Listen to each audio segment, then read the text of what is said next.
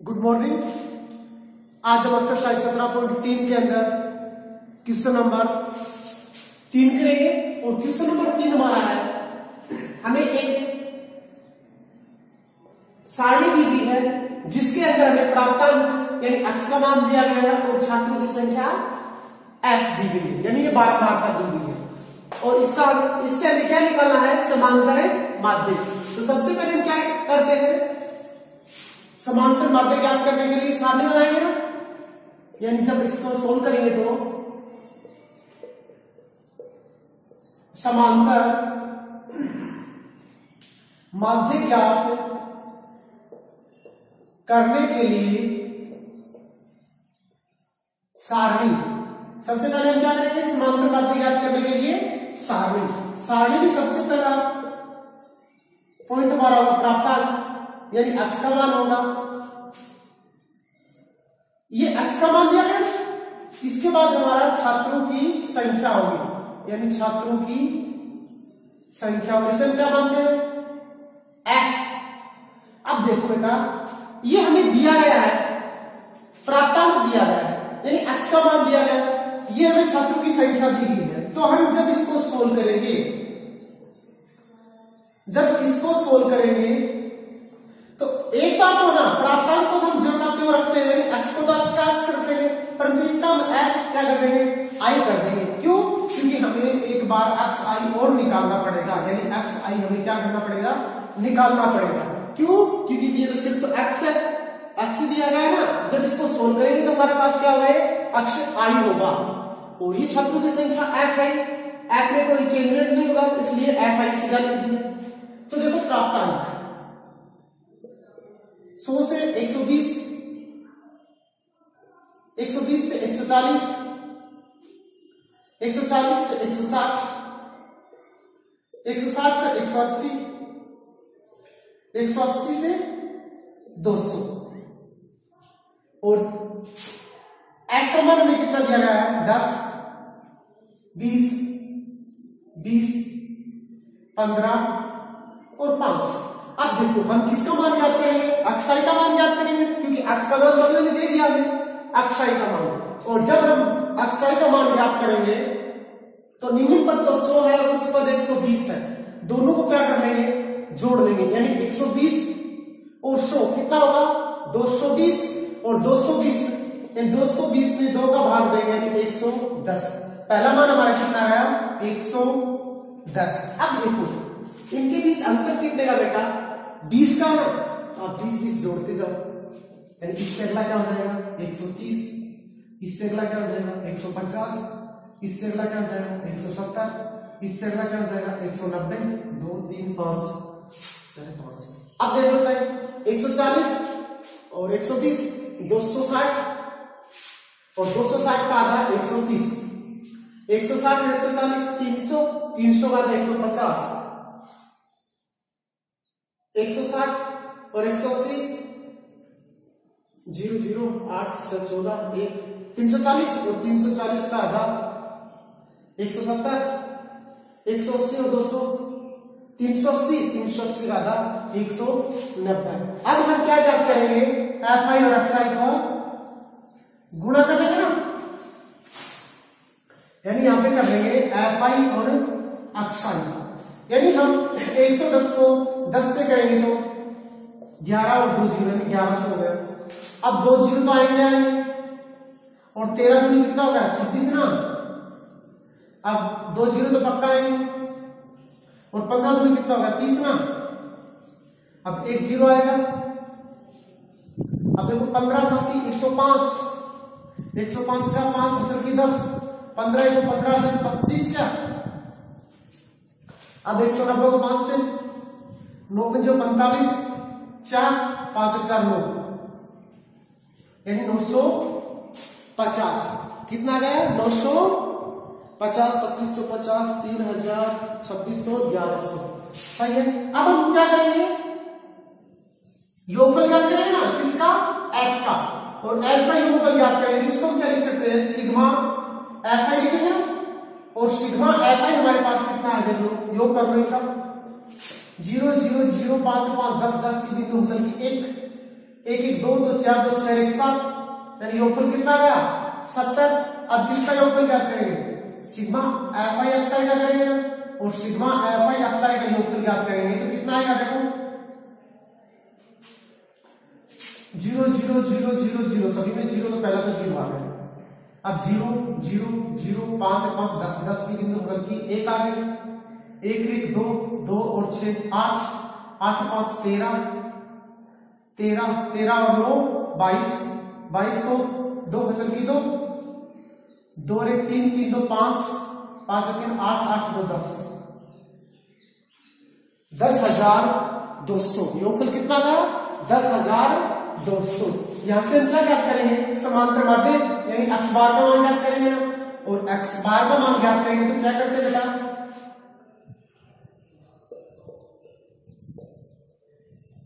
समांतर माध्य एक्स बार क्या होता है? Sigma F I X I बटे में सिग्मा एफ़ आई अब देखो, sigma F I X I का मान हमारा कितना आया है?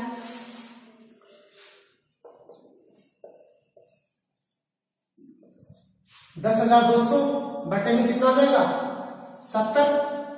अब भाग दे दो, कट रहा उसको काट दो। देखो, एक ज़ीरो से एक ज़ीरो क्या हो जाएगा? कैंसिल हो जाएगा। अब एक हज़ार बीस के अंदर हम भाग देंगे किसका? सात का ही तो देंगे ना। एक हज़ार बीस बचा और नीचे सात बचा। सात एक सात कितना बचा? तीन। सात चौका अट्ठाईस ना अट्ठाईस, कितना बचा? चार। सात पंचो पैंतीस। कितना बचा? पाँच। सात सात तो अरे क्या कर दिया सात सौ अट्ठाईस, ज़ीरो। सात पंचो पैंतीस, ठीक था। अब कौन सात सात, उनचास ना? एक और सात, एक और सात। यानी एक सौ पैंतालीस पॉइंट सात एक। यानी हमारा समांतर मध्य कितना गया? एक सौ पैंतालीस पॉइंट सात एक। इससे अगला क्वेश्चन है। क्वेश्चन नंबर चार।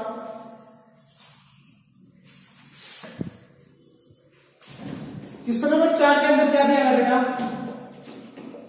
क्वेश्चन नंबर चार में हमें दिया गया है कि एक वर्ग दिया गया उसकी बारंबारता दी गई यानी हमें क्या क्या दिया गया एक वर्ग दिया गया उसकी बारंबारता दी गई है और वर्ग हमारा क्या है? 25 से 35 25 से 35 35 से 45 35 से 45 45 से तिरपन और तिरपन से पैंसठ।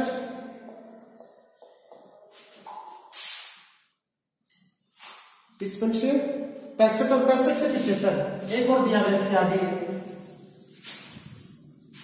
पैंसठ से पिछहत्तर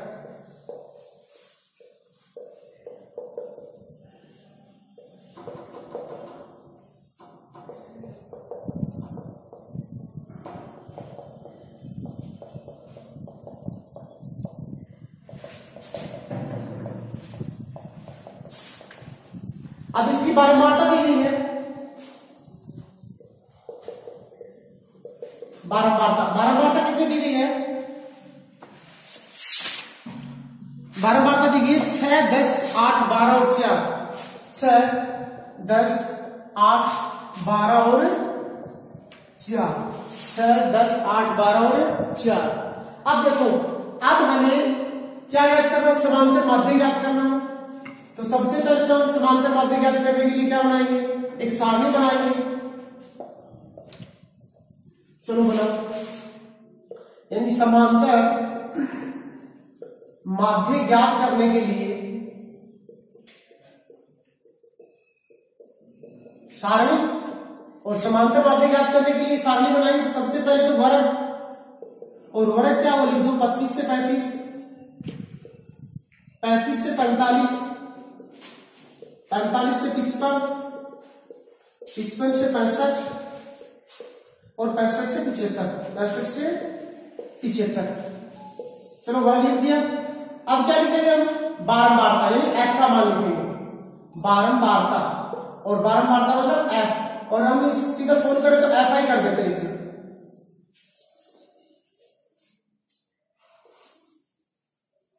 और एफ़ आई का मान ज्ञात करेंगे तो छह। दस, आठ, बारह और चार। अब देखो बेटा, हमें किसका मान ज्ञात करना है? एफ़ आई का तुम्हारे पास आ गया। अब हमें अक्षाई का मान ज्ञात करना पड़ेगा। और एक्सआई का मान ज्ञात करेंगे तो आपको पता ही है। कुछ यूनिट प्लस यूनिट दोनों को जोड़ देंगे ना जोड़ो। पच्चीस और पैंतीस कितना हो जाएगा? पैंतीस, पाँच, चालीस, पचास, साठ। और साठ का आधा कितना हो जाएगा? तीस। अब देख दोनों के बीच कितने का अंतर है? दस का ना? तो दस दस जोड़ते जाओ। अगला कितना हो जाएगा? चालीस, उससे अगला पचास, उससे अगला साठ और उससे अगला सत्तर। कोई भी करके देख जैसे पैंसठ और पिछले कितना हुआ? पैंसठ पाँच सत्तर सत्तर पाँच एक सौ बीस, एक सौ बीस का आधा साठ। इससे आगे हम क्या करते हैं? एफ़ आई और एक्स आई क्या कर लेंगे? गुणनफल में। तो छह दिया अठारह, एक ज़ीरो, एक सौ अस्सी, दो ज़ीरो, चार एकम चार एक ज़ीरो, आठ पंच चालीस, एक ज़ीरो, और बारह की बहत्तर, एक ज़ीरो, और सात सौ का अट्ठाईस। अब हम क्या करेंगे बारंबारता का योग करेंगे यानी सिग्मा एफ़ आई। और सिग्मा एफ़ आई का योग कितना आएगा? देखो, छह। और आठ, चौदह चौदह और दो, सोलह सोलह चार, बीस बीस की बिंदु सर की दो दो रेट तीन रेट चार। यानी चालीस आ गए। अब यहाँ से sigma F I X I का क्या करेंगे? मान याद करेंगे? जोड़ दो। Zero zero zero zero zero. पहला तो ज़ीरो आ गया। आठ दो दस, आठ, अठारह, आठ असल की एक। एक एक, दो, चार, छह, चार, दस, सात, सत्रह, दो, उन्नीस। यानी उन्नीस सौ अस्सी। अब उन्नीस सौ अस्सी आ गया। अब इससे आगे क्या करेंगे? समांतर माध्यम का सूत्र लगाएँगे। और समांतर माध्यम ज्ञात करने के लिए क्या सूत्र होता है? यानी समांतर माध्य। समांतर माध्य क्या होता है? अक्ष बार होता है और अक्ष बार बराबर होता है अपसाइलन एफ़ आई अपसाइल बटे अपसाइलन एफ़ आई। इसे इंग्लिश में अपसाइलन या सिग्मा बोल सकते हो। अब देखो, इसका योग कितना हमारे पास? 1980 ना? तो 1980 बटे, इसका योग कितना है? 40 अब एक ज़ीरो से ज़ीरो तो कैंसिल होगा अब एक सौ अट्ठानवे के अंदर हम चार का भाग दे देंगे एक सौ अट्ठानवे के अंदर चार का भाग दे देंगे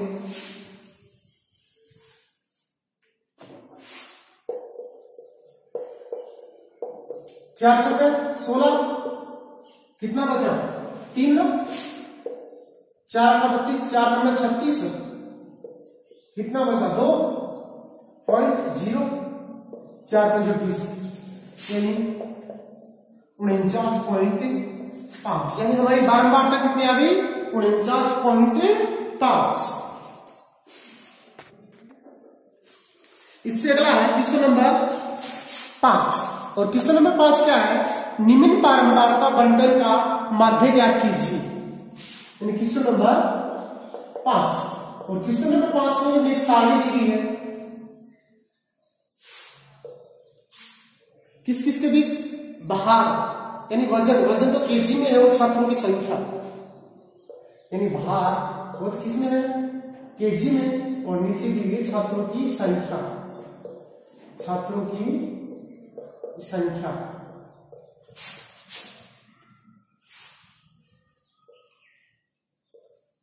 छात्रों की संख्या। यानी 40 से 50 50 से 60 60 से 70 70 से 80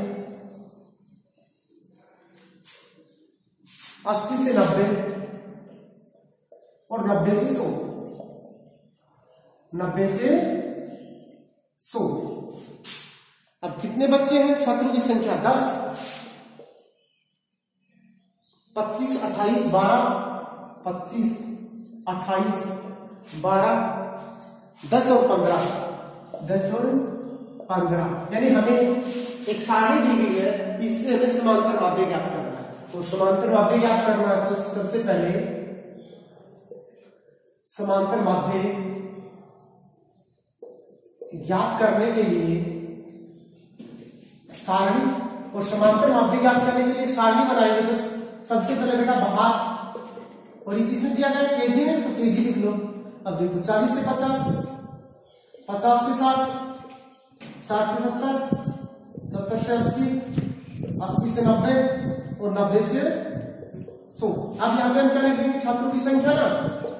छात्रों की संख्या।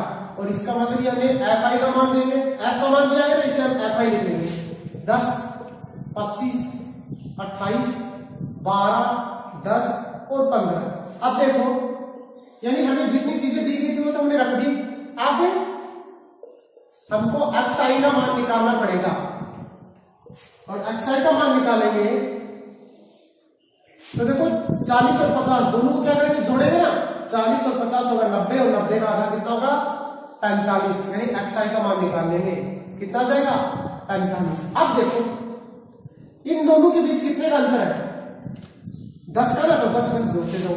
पैंतालीस में दस जोड़ोगे तो पिचपन पिचपन में दस जोड़ोगे तो पैंसठ पैंसठ में दस जोड़ोगे तो पिछहत्तर पिछहत्तर में दस जोड़ोगे तो पिचासी और पिचासी में दस जोड़ोगे तो पिचानवे कितना आएगा पिचानवे अब हम एफ़ आई एक्स आई का मान ज्ञात करेंगे एफ़ आई एक्स आई का मान ज्ञात करेंगे तो पैंतालीस से कम पैंतालीस और एक ज़ीरो, यानी चार सौ पचास।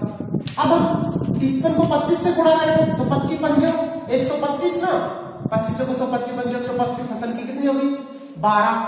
पच्चीस पंजो एक सौ पच्चीस और एक सौ पच्चीस और बारह कितना हो जाएगा? एक सौ अब 28 को किससे करेंगे? पैंसठ से करेंगे ना? और 28 को हम पैंसठ से करेंगे तो देखो, आठ पंचो चालीस, चार पाँच में दस और चार चौदह। आठ छह अड़तालीस, चार छह में बारह और चार सोलह। अठारह सौ बीस। पिछहत्तर को किससे करेंगे? बारह से? तो बारह पंचो साठ के बिंदु सत्ती छह। और बारह सत्ती चौरासी चौरासी और छह नब्बे।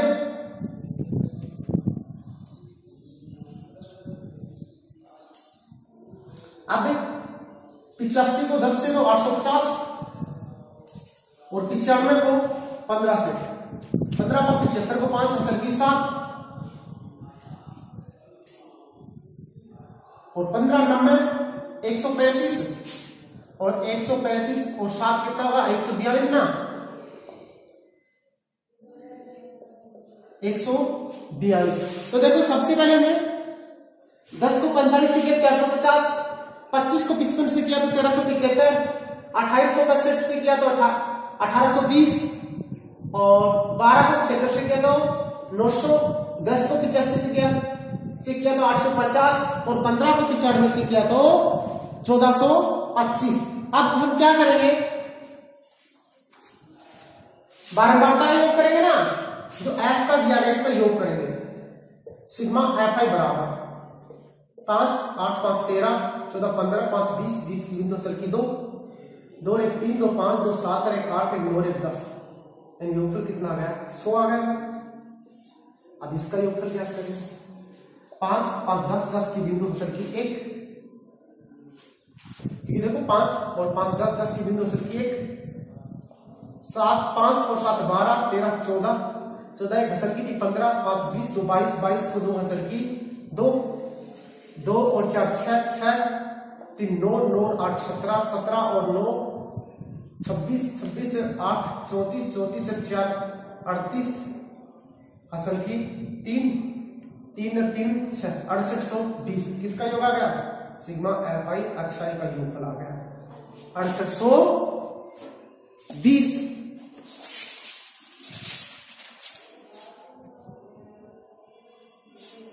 अड़सठ सौ बीस। अब देखो हम क्या करेंगे?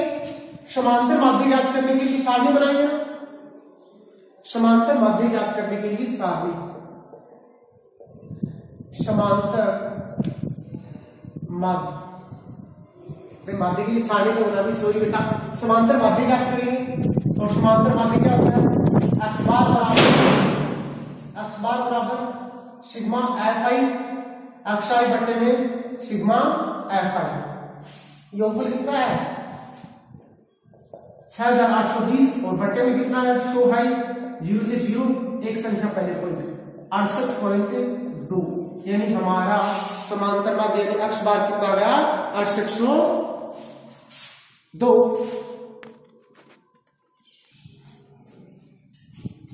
इससे अगला है क्वेश्चन नंबर? छह का। एक फैक्ट्री में कर्मचारियों के वेतन की सारणी दी गई है, और सारणी है प्रतिमाह वेतन। Question number? छह का। प्रतिमाह वेतन रुपए में है प्रतिमाह है। वेतन किसमें रुपए में? और रुपयों में। और कर्मचारियों की संख्या। कर्मचारियों की संख्या।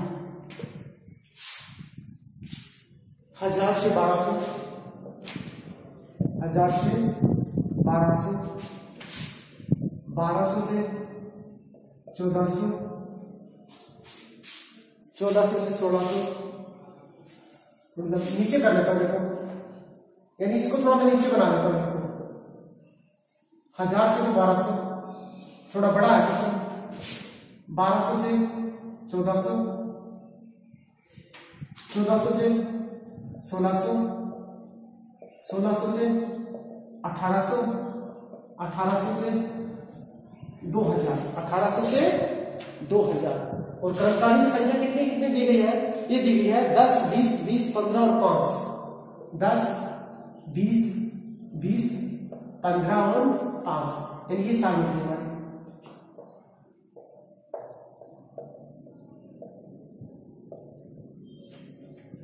यानी प्रतिमा वेतन तो रुपए में है। हज़ार से बारह सौ बारह सौ चौदह सौ, चौदह से सोलह सौ, सोलह से अठारह सौ अठारह सौ दो हज़ार। कर्मचारी की संख्या दस, बीस बीस, पंद्रह और पाँच सिर्फ़ हमें इसको देखकर सारणी बनानी और कुछ काम में नहीं आएगा यानी समांतर, माध्य, ज्ञात करने के लिए सारणी और सारणी में सबसे पहले प्रतिमा है। वेतन। रुपयों में और वो क्या वो लिख दो हज़ार से बारह सौ, बारह से चौदह सौ, चौदह से सोलह सौ सोलह सौ से अठारह सौ और अठारह सौ से दो हज़ार।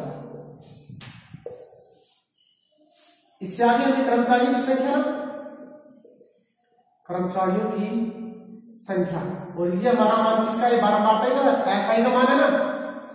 एफ़ का मान था, इसे जब सारणी में लिखेंगे एफ़ आई लिख देंगे दस, बीस बीस, पंद्रह और पाँच। अब यहाँ से हम देखो, अब इसकी कोई आवश्यकता नहीं है सारणी की काट ऊपर वाली की कोई आवश्यकता नहीं है।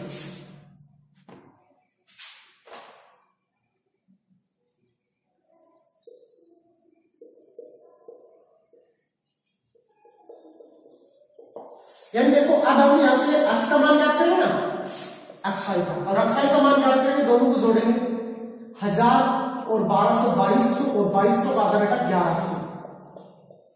कितना होगा ग्यारह सौ। अब देखो, कितने का अंतर है? दो सौ का अंतर है ना? क्योंकि बारह सौ में से हज़ार जाएगा कितने बचेगा दो सौ। यानी अंतर कितने का दो सौ दो सौ दो सौ जोड़ते जाओ ये हो जाएगा तेरह सौ। ये हो जाएगा पंद्रह सौ। ये हो जाएगा सत्रह सौ और ये हो जाएगा उन्नीस सौ। अब हम यहाँ से किसका मान ज्ञात कर देंगे? एफ़ आई और एक्सआई का ना एफ़ आई और एक्सआई का गुणा कर लेंगे सीधा ग्यारह, एक, दो, तीन तीन, ज़ीरो में, एक, दो, तीन। अब देखो, एक, दो, तीन तीन, ज़ीरो में ना तो एक, दो, तीन तो ज़ीरो लगा दो तेरह दो कितना हो गया? छब्बीस ना? अब देखो एक, दो, तीन तीन तो ज़ीरो में एक, दो, तीन, और पंद्रह दो कितना होगा? तीस ना?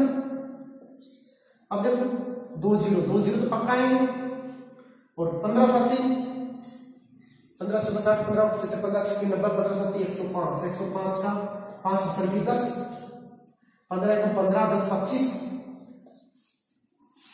दो ज़ीरो और उन्नीस पचानवे क्या? ये देखो, नौ पंचो पैंतालीस चार पाँच चार नौ का पिछानवे अब क्या कर लेंगे सबसे पहले हम बारह बार का योग करेंगे यानी एफ़ का योग करेंगे सिग्मा एफ़ आई बराबर योगफल ज्ञात कर लो बेटा एक दो ज़ीरो ज़ीरो ज़ीरो पाँच और पाँच दस दस की बिंदु असल की एक एक दो दो चार दो एक एक दो चार छह एक आठ छह एक सात सत्तर योगफल कितना आ रहा है सत्तर दस दस बीस बीस चालीस साठ सत्तर अब इसका योग करेंगे sigma F I X I का करेंगे अब देखो इसका योग फल याद करेंगे तो ज़ीरो ज़ीरो पाँच से पाँच, दस दस की बिंदु अक्सर की एक एक एक, दो, छह, आठ आठ, पाँच तेरह तेरह और नौ, बाईस बाईस को दो को हसल की, दो दो एक तीन तीन, दो, पाँच पाँच तीन, आठ आठ, दो, दस। एक लाख दो हज़ार। योगफल कितना गया? एक लाख दो हज़ार। अब यहाँ से हम क्या याद कर देंगे? समांतर माध्य ना? और समांतर माध्य याद करने के लिए क्या सूत्र होता है? इन समांतर माध्य ज्ञात करने के लिए सूत्र होता है एक्स बार बराबर sigma F I X I बटे में सिग्मा एफ़ आई भाग देंगे सत्तर का ज़ीरो से ज़ीरो कैंसिल अब दस हज़ार दो सौ बचा। नीचे कितना बचा? सात बचा। दस हज़ार दो सौ बटे में सात। सात एकम सात, कितना बचा? तीन। सात सौ का अट्ठाईस, कितना बचा? चार। सात पंच पैंतीस। पाँच। सात सौ सात उनचास। एक पॉइंट सात एकम सात। तीन सात सौ अट्ठाईस। यानी चौदह सौ सत्तावन पॉइंट एक चार यानी कितना आ गया इसका? समांतर माध्य चौदह सौ सत्तावन पॉइंट एक चार। ठीक है ना? यानी माध्य ज्ञात कर दिया रुपए में दिया था बाकी का सब रुपए लगा दिया। तो बेटा हमारी एक्सरसाइज सत्रह पॉइंट तीन कंप्लीट हो गई है। इसको अब सत्रह पॉइंट एक दो और तीन को आप हर कॉपी में निकाल के देखना। बेटा, जब हम अब सत्रह पॉइंट चार एक्सरसाइज स्टार्ट करेंगे ना तो लगभग ये सेम ही है, समांतर ज्ञान करना। आप कंफ्यूज न हो जाओ। इसलिए एक बार फिर से निकाल के देख लेना कॉपी में। इससे अगली एक्सरसाइज सत्रह पॉइंट चार। तो सत्रह पॉइंट चार में बेटा हमें कल्पित माध्य की सहायता से समांतर माध्य याद करना पड़ेगा। यानी इससे पहले हमने क्या औसत वाले सूत्र से ज्ञात किया यानी सभी का योग कर दिया बट्टे में आंकड़ों की संख्या लगा दी। उसके बाद हमने क्या किया? हमें बारंबार का दे रहा था और एक्स का मान दे रहा था, सीधा सा दे रहा था। एक्स को और एफ़ को हम गुणा कर रहे थे, समांतर माध्य ज्ञात कर रहे थे। अभी अभी जो हमने सोल्व किया, उसमें एक वर्ग अंतराल दे दिया। बारंबारता का मान दे दिया। वर्ग अंतराल से हमने क्या किया? एक्स का मान निकाल लिया। यानी वर्ग अंतराल का लो पद और हाई पद, यानी निम्न पद और उच्च पद, दोनों को जोड़ दिया और दो का भाग दे दिया, जिससे हमारा एक्स का मान आ गया। उसके बाद हमने एफ़ और एक्स को गुणा करके समांतर माध्य ज्ञात कर लिया। अब इससे आगे बेटा कल्पित माध्य की सहायता से समांतर माध्य। यानी हमें कल्पना करनी पड़ेगी और उस कल्पना के आधार पर हम समांतर माध्य ज्ञात करेंगे।